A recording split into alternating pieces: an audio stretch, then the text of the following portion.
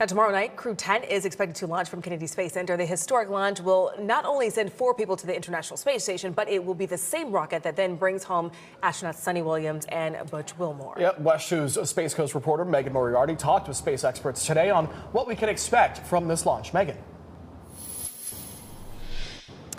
NASA says that it is a 95, more than 95% go for liftoff at the Launch 39A complex. Last night, the crew did a dry dress rehearsal. The launch is set for 7:48 p.m. tomorrow night. Those four crew members will go up to the ISS to replace Crew 9.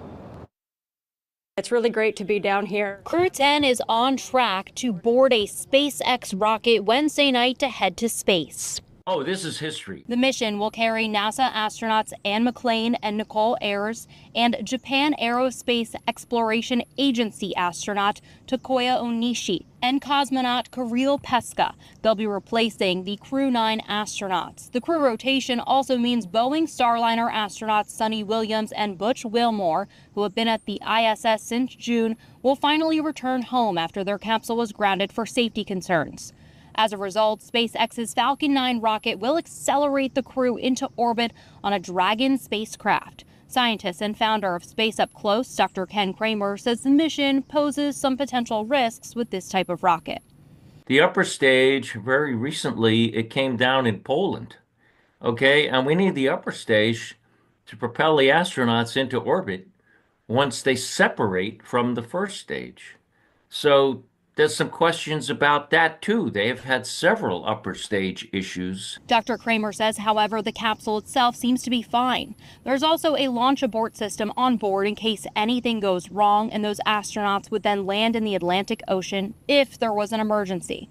While in space, the crew will conduct several research experiments, including stem cell research, cardiovascular health, and material flammability tests, which will help contribute to future spacecraft and facility designs. Medical research, they do cancer research, they do astronomical research, they do research onto the Earth, out into the heavens.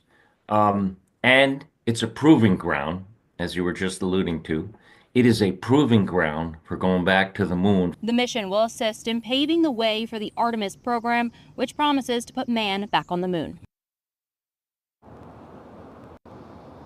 And this is an instantaneous launch window, which means that if they can't take off at 748 for whatever issue, then it needs to be rescheduled. There are rescheduled date launch periods on Thursday and Friday night. We're live covering Space Coast. Megan Moriarty, WESH 2 News.